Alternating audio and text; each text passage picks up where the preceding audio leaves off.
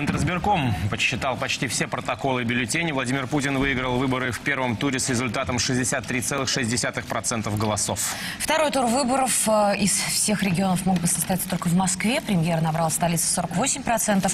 Во втором туре ему пришлось бы сразиться с Михаилом Прохоровым, который набрал 20%. Так же, как и на парламентских выборах, основная часть информации о пр- предполагаемых нарушениях и фальсификациях поступала всю минувшую ночь именно из Москвы. Возможно, потому что здесь работало большинство наблюдателей из почти 700 тысяч волонтеров, которые следили за выборами в России.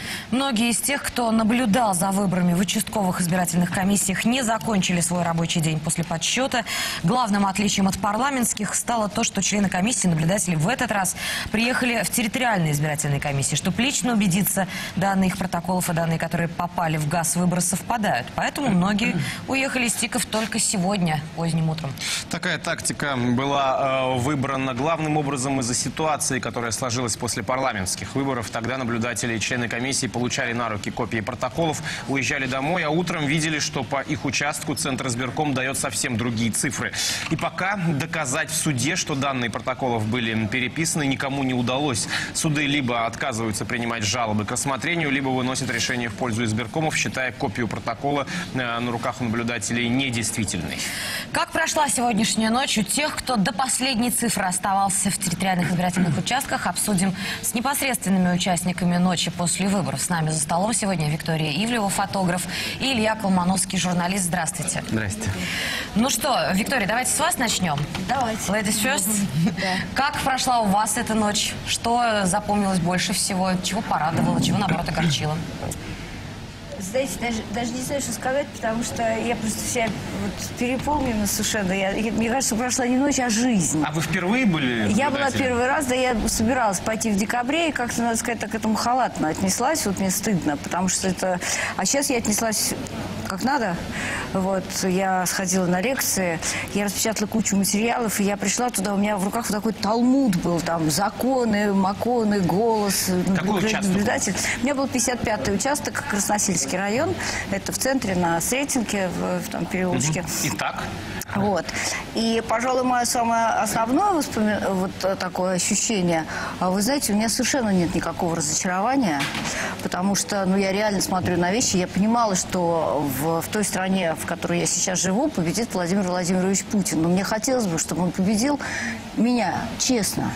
И, и мне подобных. Да? Мне хотелось, чтобы это было честно. И я знаю, что мы на своем участке сделали абсолютно все, что мы могли. Вот на тот, с того момента, как мы вошли, до того момента, как мы оттуда выползли а, в без 10 9 утра, то есть это было больше суток, потому что мы пришли в 20 минут восьмого, да, вот.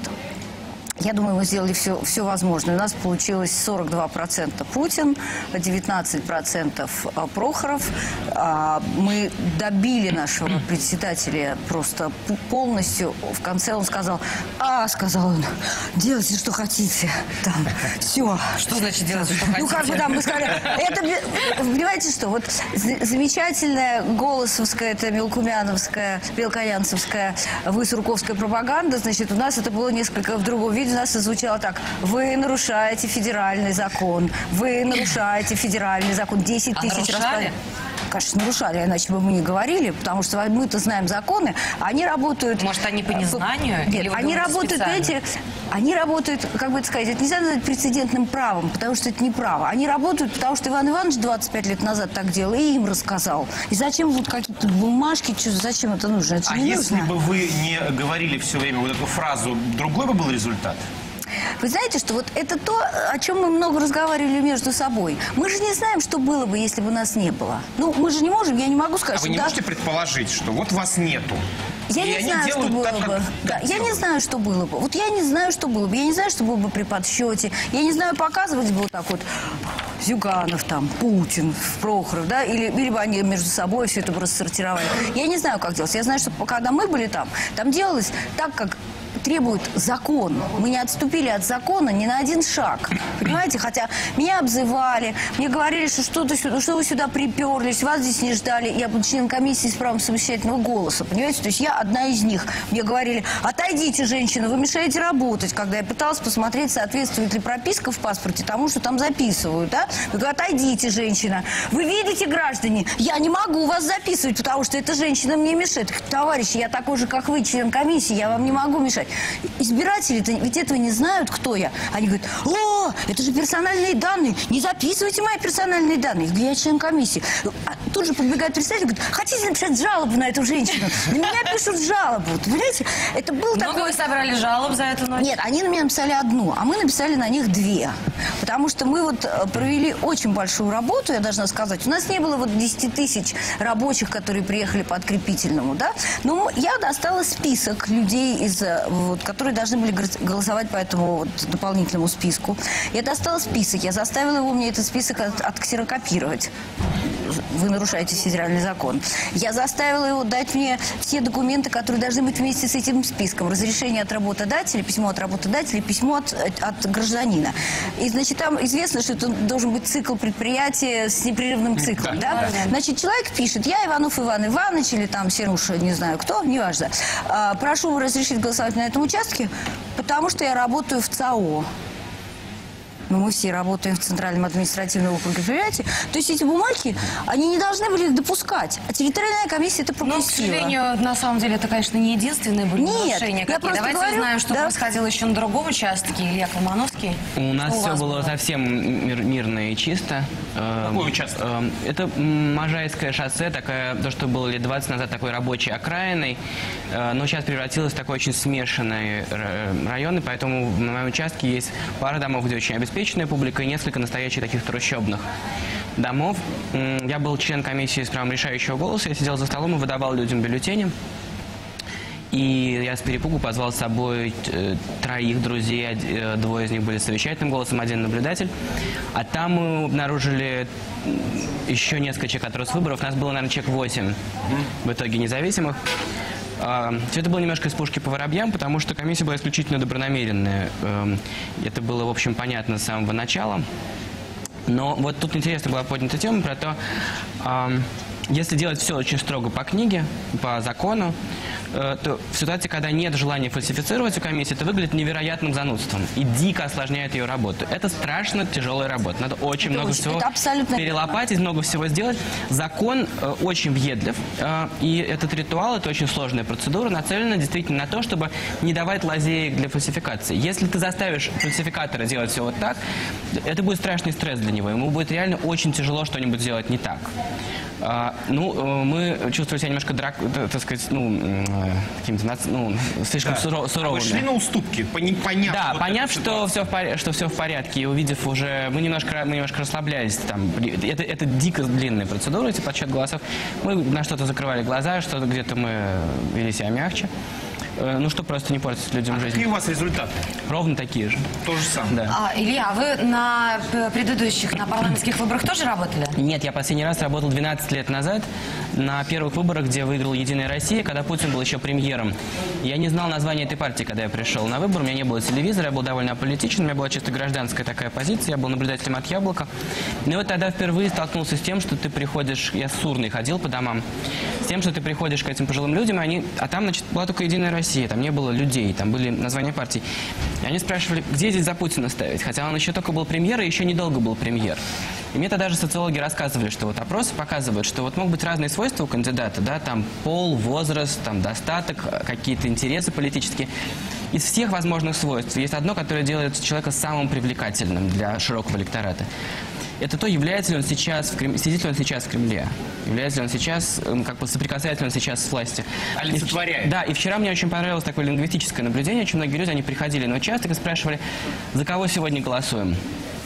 Это не в смысле за Путина или, или за Зюганова, а это другая конструкция лингвистическая. Мы голосуем сегодня за президента и за муниципальных там, депутатов. За президента.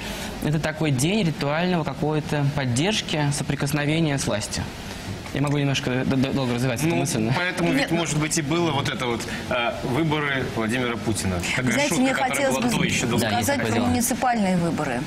Вот, э, продолжая то, что сказал Илья, вообще замечательно, что было время, когда люди не знали название этой партии. Представляете, как даже уже и не А ведь сейчас не знают муниципальных депутатов. О, да. Они были, совершенно шокированы. Люди не мало что кто нужно, выбрать это Ну, за это вообще никто не смотрит. Но я должна сказать, что вот эта система, и, конечно, это дикий стресс для членов комиссии. Мы вышли, от выползли в 10 минут 9 утра, с нами выползли все члены комиссии, которые... с участка? С участка. Мы, мы- мы ездили в ТИК, потом возвращались в участок, и муниципальные выборы уже они в ТИК повезли без нас, но мы забрали протоколы себе и все.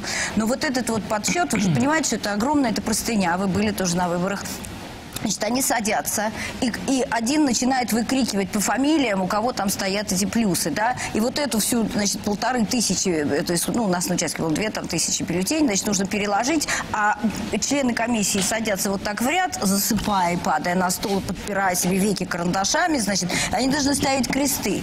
Кам- у них расписано по фамилиям, там, у тебя две фамилии, у тебя Иванов Петров, у меня там Шварцен Рабинович и так далее, и так далее, да, вот, не по национальному признаку, это я просто сказала. Вот, значит, они должны там ставить эти кресты. Кому там это ставится? Я понимаю, что человек уже все, вот, э, А вот интересно, вот Понимаете? после этого... Я считаю, это издевательство. Это ведь могли бы невозможно сделать. внести предложение, как э, модернизировать эту систему? Можно А, это наверное, сделать? наверное, нужно иметь две разные команды. Понимаете, одна тогда делает президентские выборы, а, допустим, там в 2 часа ночи или в 3 часа ночи Их меняют. приходят люди, которые свежие головы и считают муниципальные, потому что при всем желании это невозможно сделать нормально, потому что ты засыпая, естественно, ты можешь пропустить. согласны? Ну, у нас тогда не хватит армии наблюдателей. Я- Муниципальные я выборы, знаю. как я начал чувствовать и понимать, чуть ли не важнее, чем президентские. У нас Это выбрали тот- кого это, хотели. это, видимо, понимают только те, которые поучаствовали в этом, Да. наблюдателями. Да-да. Потому что Ну, просто- гражданин, который приходит голосовать, для него это вот, ну, просто как какой-то Да, довес. да, они были, вот, да, я а, видел возмущенные, Книжка в э, добавок. я видел испорченный бюллетень, такой подчеркнут с надписью «Не представились». Я был бюллетень, недоволен на тем, что они никак не представились до выборов. Того, у одной фамилии было написано «дерьмо», и, да- и ниже было написано «других не знаю». Скажите, а когда приходили люди и голосовали по ни- муниципальным выборам, они интересовались, например, у комиссии, кто эти Они все люди? возмущенно спрашивали, во-первых, что это такое, что это за второй бюллетень, что это за муниципальный, что это за варье такое. Когда я им объяснял, что это такое, э, э, в их глазах поселялась прочная ненависть, они смотрели на меня как на представителя власти, и, и они меня идентифицировали с этим муниципальным варьем. А это же действительно очень важное место, где пилят деньги. И... Там не такие уж большие Не, деньги это очень важно. сами муниципальные депутаты. Ну, там просто, Видимо, не такие не большие, как они хотели. Ничего не наверное, это хорошая платформа, да, для... Во всяком случае, у нас вот было то же самое. У нас было несколько парней самовыдвиженцев, одного из них, двоих из них я знала, от одного из них я была вот, пр- представителем на выборах, да, и люди подходили, говорят, «Ка- 86-го года, 88-го года. Очень много молодых. О, сволочи, как рано-то они захотели во власти. Нет, этих Ну да. не пустим. А своих молодых он не привел, что очень обидно, да. Он, ему, у него не было шансов, видимо, не давали еще времени для агитации. Он не привел вот этих 86 года, которых на самом деле полно в этом районе, но их нет, они не Ну да, нет, ну вот кто был 86-го, тут человек приходит, ну, 86-го года из- э, депутат. Да, я говорю, что его избиратели не пришли, не А пришли. избиратели Молодежь его, да, пришла. да, да. Вы имеете в виду? Да, Ну да, да, их да, было да. очень мало. Слушайте, У ну вас тоже молодых мало было?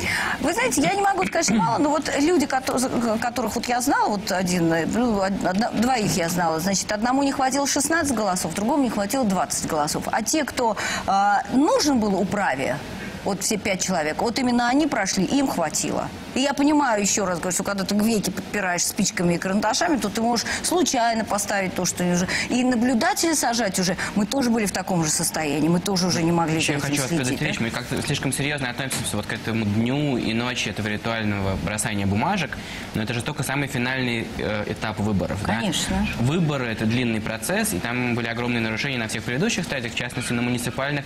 Ну, мало того, сколько завернули, да, сколько отстранили э, кандидатов, но и у тех, кто был, им же не давали нормально агитировать, срывали их листовки. Это же... У меня такой, может быть, э, подводящий итоги этой ночи вопрос. В- Судя по э, комментариям в Фейсбуке, в блогах и так далее, очень много наблюдателей, которые очень активную заняли гражданскую позицию, очень многие говорят, что действительно прошло достаточно честно. Ну, там, с какими-то огрехами и так далее. Вы сами говорите, что практически нереально выполнить все требования закона и при этом нормально работать. А, Что это дало?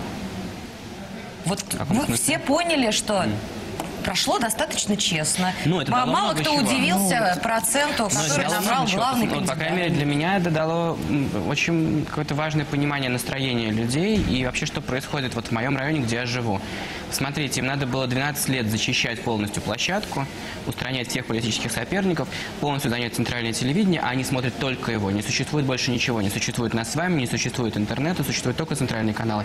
Надо было их полностью зачистить, им надо было украсть думские выборы, им надо было сделать абсолютно неудобоваримых соперников, чтобы с огромным трудом и всем давлением там, административным э, набрать вот эти 43%, которые в нашем случае означали бы второй тур, который, как говорят, он проиграл бы.